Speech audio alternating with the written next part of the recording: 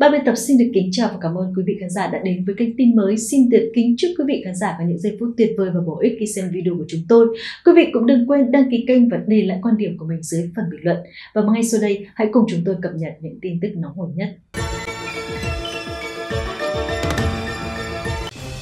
Kính thưa quý vị, với xu hướng vươn ra biển của thế giới hiện nay, việc bảo vệ toàn vẹn chủ quyền, quyền chủ quyền trên biển là một trong những nhiệm vụ hàng đầu nước ta. Việt Nam hiện đã có trong biên chế đủ các thành phần của một hải quân hiện đại như tàu nổi, tàu ngầm, không quân, hải quân đánh bộ và pháo binh, tên lửa bờ. Trong đó lực lượng tên lửa bờ được ví như những bức tường thành di động nhờ uy lực lớn. Sức cơ động Việt giã cao góp phần vào việc tăng sức mạnh cho tên lửa bờ. Không thể không kể tới Ridut, một trong những tên lửa đất đối hải hạng nặng nhất của Hải quân Việt Nam – Bất chấp tuổi đời khá cao, nhưng Ridut vẫn khẳng định mãnh lực chấn giữ Biển Đông nhờ vào những cải tiến liên tục, giúp hệ thống tên lửa này không chỉ nặng nhất mà còn có tầm bắn xa và chính xác nhất mục tiêu.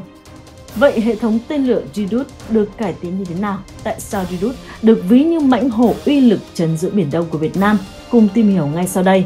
Theo nhận định của phương Tây, với các tổ hợp 4K51 GBet K300P Passion P và 4K44 Jidut Hải quân Việt Nam đã tạo nên lá chắn thép phòng thủ bờ biển chắc chắn ở Biển Đông, khiến bất kể đối thủ nào, kể cả Trung Quốc cũng phải dè chừng. Trong đó, tổ hợp tên lửa phòng thủ bờ biển Redut được Nga chính thức đi vào phục vụ trong Hải quân Liên Xô vào năm 1959. Trong giai đoạn những năm 1980, lực lượng phòng thủ bờ biển Việt Nam được Liên Xô chuyển giao hệ thống tên lửa chống hạm, được mệnh danh là sát thủ tàu sân bay 4K-44 Redut với tầm bắn xa nhất Đông Nam Á. Đặc biệt hơn, Việt Nam là khách hàng duy nhất được xuất khẩu hệ thống tên lửa chống hạm này – mặc dù sở hữu từ rất sớm nhưng phải đến năm 2017 và 2018 khi truyền thông Việt Nam phát sóng phóng sự ghi lại cảnh bắn đạn thật của tổ hợp tên lửa bờ Redut thì báo chí Trung Quốc ngay lập tức sau đó đã đổ dồn và phân tích sức mạnh của Redut và cho rằng chính quyền Trung Quốc không thể coi nhẹ tên lửa này. Sở dĩ nói như vậy trước hết bởi vóc dáng cực khủng của tổ hợp, một hệ thống Redut bao gồm xe radar điều khiển và xe bệ giá phóng mang một quả tên lửa dựa trên khung thân xe vận tải. Thông thường một tổ hợp bố trí một xe radar và 3 xe mang tên lửa. Tên lửa được đặt trong ống phóng ZIL-135K lắp trên xe tải BAZ 135MB 8 x 8 bánh. Mỗi xe phóng mang một tên lửa được vận hành bởi 5 người. Thời gian triển khai sẵn sàng chiến đấu khoảng 30 phút. Hệ thống này sử dụng tên lửa hành trình đối hạm tầm xa P-35, dài gần 10 m, đường kính thân 1,5 m, trọng lượng phóng 4,2 tấn, lắp đầu đạn thuốc nổ mạnh từ 800 đến 1.000 kg, đem lại sức công phá uy lực, kích thước khủng nên sức mạnh cũng khủng. Chưa kể P-35B phiên bản xuất khẩu có phần chiến đấu nặng đến 800 kg, đủ sức đánh chìm những chiến hạm cỡ lớn trên 7.000 tấn và có thể làm bị thương nặng các loại tàu chiến có lượng dạn nước lên tới 20.000 tấn. Tên lửa bay hành trình ở tốc độ siêu âm tầm bắn rất xa lên tới 460 km, thậm chí có thông tin là tới 700 km. Vì thế nó được đánh giá là tên lửa chống hạm có tầm bắn lớn nhất trong khu vực Đông Nam Á. Khi không sử dụng máy bay, chỉ thị mục tiêu tổ hợp sẽ chuyển sang chiến thuật bầy sói. Tên lửa được phóng loạt từ hai quả trở lên cùng lúc. Tên lửa này được phóng loạt từ hai quả trở lên cùng lúc. Tên lửa này sẽ chỉ thị mục tiêu cho các tên lửa còn lại để cùng tấn công một loạt đạn lớn. Thưa các bạn, tổ hợp tên lửa chiến lược Redut của Hải quân Việt Nam có khả năng cơ động cao với tầm tác chiến tấn công bảo vệ khoảng 400 km, bao trùm toàn bộ khu vực các đảo, quần đảo thuộc chủ quyền Việt Nam. Câu hỏi được đặt ra là với sức mạnh khủng, cùng tầm bắn xa và uy lực như vậy thì Redut còn cần phải cải tiến, nâng cấp điều gì? Như các bạn đã biết trong chiến tranh hiện đại, ngoài tầm bắn xa thì tốc độ và độ chính xác là yếu tố mang tính sống còn tới sức mạnh của loại vũ khí. Tầm bắn xa nhưng tốc độ chậm, độ chính xác kém thì vũ khí đó không được đánh giá cao. Mà để tăng hiệu quả và độ chính xác thì Việt Nam cần cải tiến hệ thống dẫn đường, tức là giải pháp nâng cấp cho đài quan sát Shakla. Theo đó, vào đầu tháng 7 vừa qua, trên tạp chí Kỹ thuật Quốc phòng của Việt Nam có đăng tải thông tin chi tiết một số giải pháp nâng cấp cho đài điều khiển Shakla của tên lửa Redut Theo đó, đài điều khiển Shakla được phát triển trên cơ sở tên lửa đất đối hải có hiệu quả chiến đấu cao, cho phép thực hiện loạt bắn 4 tên lửa đó sử dụng hệ thống điều khiển từ xa, thực hiện điều chỉnh quỹ đạo tên lửa hành trình nhưng vẫn đảm bảo độ chính xác do những điều sau. Thứ nhất, đưa thêm vào tổ hợp Sakla thiết bị cho phép điều khiển tên lửa bằng lệnh vô tuyến ở những quỹ đạo có độ cao khác nhau và cho phép lựa chọn mục tiêu để tiêu diệt. Thứ hai, sử dụng tên lửa P-28 và thế hệ cải tiến P-28M có khả năng kháng nhiễu cao, cho phép vượt qua chế áp nhiễu cũng như chế áp bằng hỏa lực có tổ chức bởi đối phương. Thứ ba, hỗ trợ đảm bảo cung cấp thông tin chỉ thị mục tiêu khi bắn trong giải cự ly cực đại nhờ máy bay trinh sát trên không.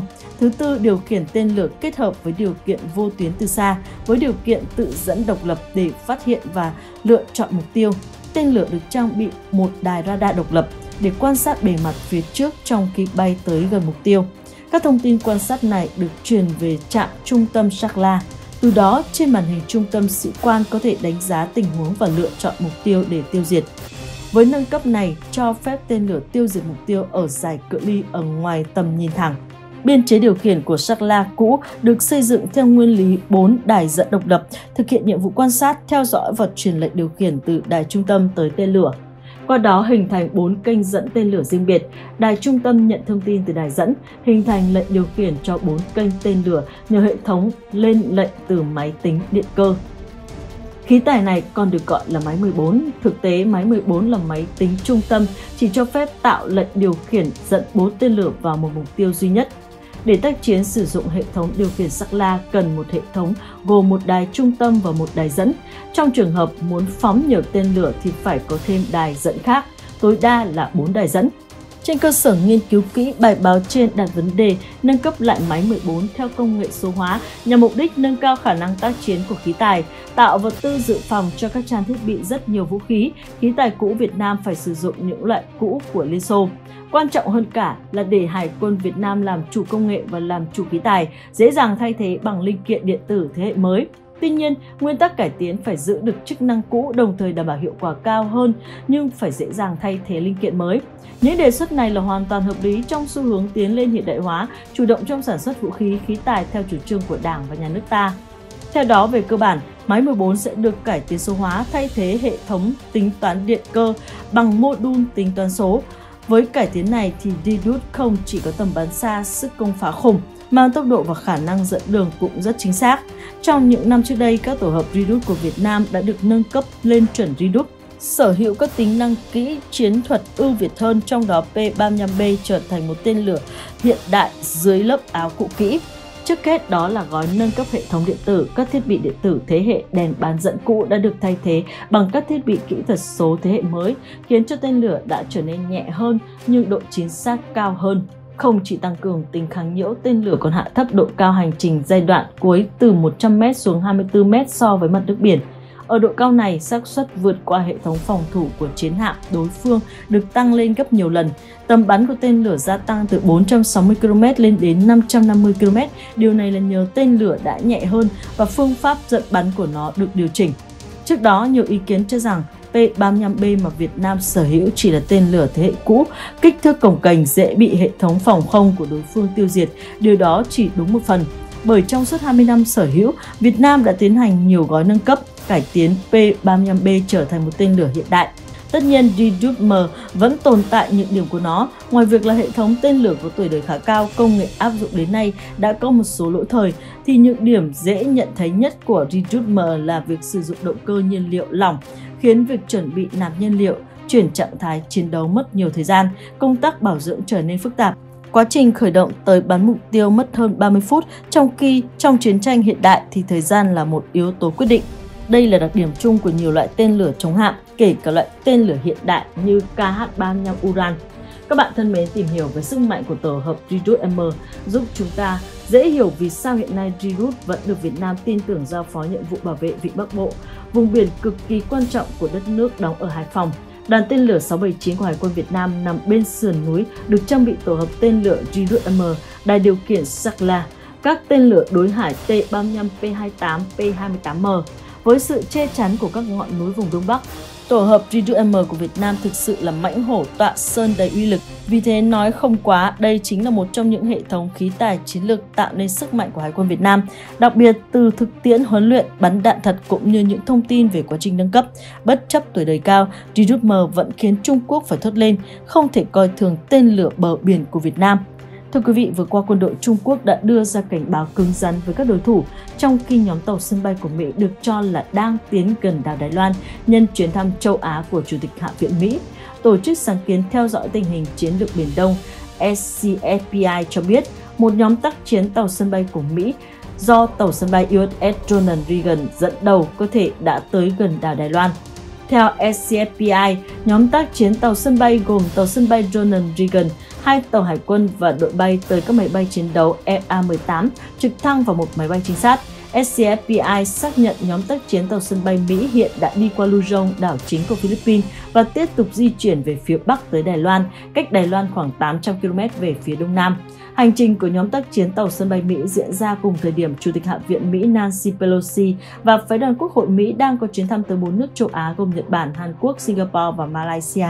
Bà Pelosi đã có cuộc gặp với Thủ tướng Singapore Lý Hiển Long. Các quan chức cao cấp của Mỹ và Đài Loan cho biết bà Pelosi dự kiến sẽ thăm Đài Loan và nghỉ lại qua đêm tại hòn đảo này. Hiện chưa rõ máy bay chở bà Pelosi sẽ hạ cánh tại sân bay nào của Đài Loan, cũng như thời gian chính thức của chuyến thăm này. Các quan chức Mỹ khẳng định giới chức quốc phòng nước này đang nỗ lực hết sức nhằm đảm bảo an toàn cho phái đoàn của bà Pelosi trong bối cảnh Trung Quốc liên tục có những động thái phản đối chuyến đi của Chủ tịch Hạ viện Mỹ đến Đài Loan.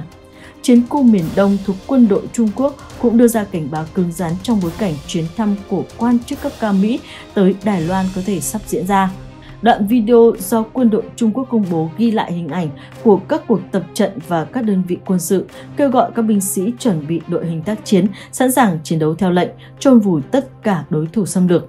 Nhà ngoại giao Ji Kao của Trung Quốc cũng đăng thông điệp trên Twitter nhắc lại cảnh báo của Bắc Kinh vào tuần trước khi xuất hiện thông tin Chủ tịch Hạ viện Mỹ có thể thăm Đài Loan.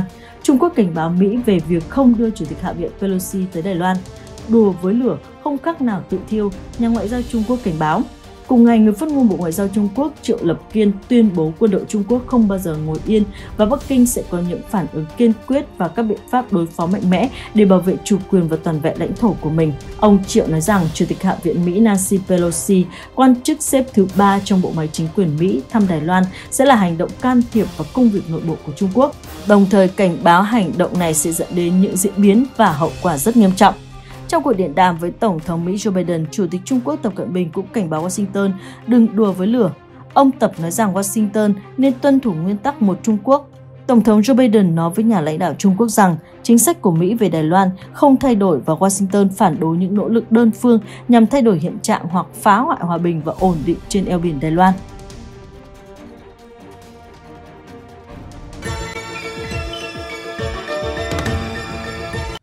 Tin vừa rồi cũng đã khép lại bản tin tin mới của chúng tôi ngày hôm nay. Cảm ơn quý vị và các bạn đã quan tâm theo dõi. Xin chào và hẹn gặp lại.